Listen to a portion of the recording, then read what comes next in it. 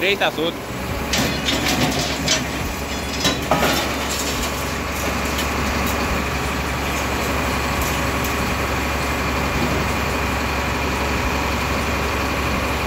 Só na movimentação de carga aqui.